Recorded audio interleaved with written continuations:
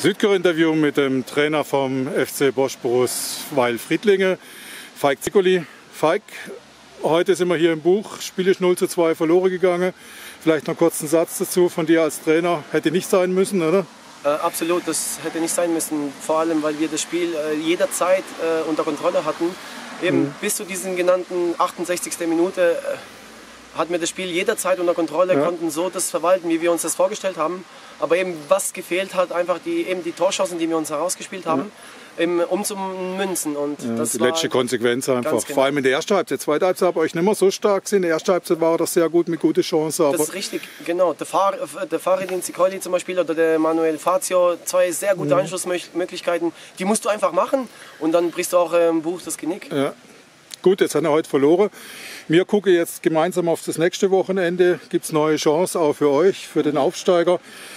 Fangen wir mal an. Am Samstag VfR Bad Bellinge gegen den heutigen Gegner, der SV Buch. Mein VfR Bad Bellinge kennst Werner Gottschling ist Trainer und gegen Buch. Machen die ihre vierte Sieg in Folge, die Bucher, oder was meinst du? Also ähm, ich habe Bad Bellinge auch, wir haben die auch schon gehabt. Ich bin mhm. der Meinung, dass sie wirklich auch im Spielabbau sehr, sehr stark sind. Ja. Und ich glaube, die Bellinger machen das äh, 4 zu 1. Okay. Dann haben wir Walbach, FC Walbach gegen FC Erzingen. FC Walbach hat gestern in Laufenburg verloren. FC Erzingen, ja, auswärts weiß man nicht so richtig. Ähm, ich könnte das ähm, Patrick Bayer, mein äh, Freund, mit dem ja. ich ja auch schon äh, Lizenz, schon Trainerlizenz gemacht habe, ja. äh, einen Sieg. Der braucht es jetzt dringend. Ja. Und deswegen, ich weiß auch, dass sie eine spielstarke Mannschaft haben. Tippe auf einen 3 zu 1.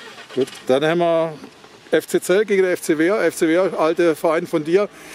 Deine Freunde und der FC Zell kennst du ja wahrscheinlich der eine oder andere Spieler. Das ist richtig, ja. Also ich habe jetzt, wir haben auch gegen beide gespielt und ähm, mhm. Äh, Zell spielt zu Hause, das sind ein bisschen äh, heimstark. Von mhm. daher würde ich sagen, äh, Zell macht das 2-0. Mhm. Für den Michael Schwald als ehemaliger Co-Trainer von Michael Schenker wird sicher auch ein besonderes Spiel werden. Ja, das wird auch ein besonderes Spiel, ganz genau. genau. Dann weiter im Wiesetal FC Schönau gegen den Aufsteiger FC Geislinge.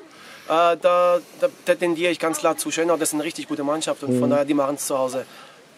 Ich denke mal, brauchst du ein Ergebnis? Was, wie du willst. Schönau wird sich 4-0 für ja. Schönau.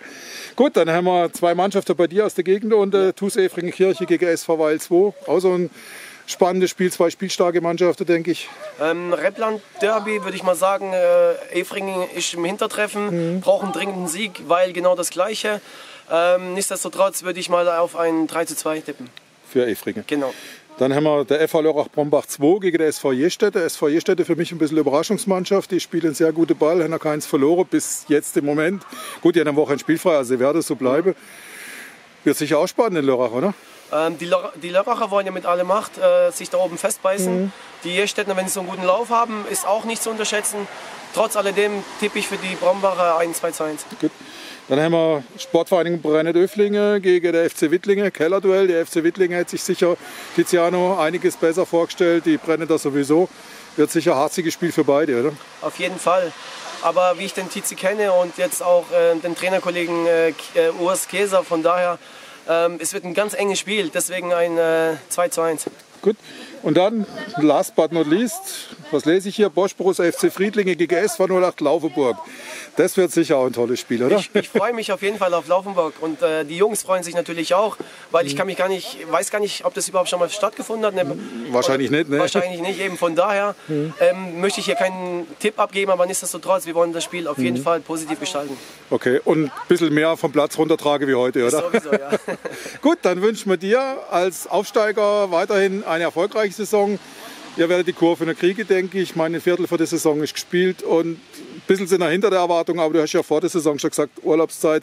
Aber ich denke, ihr seid im Kommen, oder? Ja, auf jeden Fall. Wir machen uns da keine Gedanken. Nichtsdestotrotz müssen wir aber trotzdem schauen, weil wir einfach äh, nicht so optimal gestartet mhm. sind, weil viele Urlauber hatten. Aber mhm. mittlerweile ist es so, dass die Mannschaft sich wieder findet und das sieht man auch an den mhm. Spielgeschehen, äh, wie wir das eigentlich gestalten. Mhm. Und auf jeden Fall, wir mhm. kriegen die Kurve. Vielleicht noch ein Satz zum Abschluss zu eurer neuen Heimat. Ihr habt ja viele, viele Jahre im Nonneholz in Weih gespielt. Das spielt in Friedlingen. Wie seid ihr aufgenommen worden im Stadtteil? Sehr, sehr, sehr, sehr gut. Eigentlich, als wären wir nie weg gewesen, als wären wir immer dort gewesen. Okay. Von daher freuen wir uns eigentlich auf die äh, neue, Heim, neue Heimanlage. Von daher passt alles mhm. schon. Gut, Falk, dann alles Gute. Super, vielen, vielen Dank.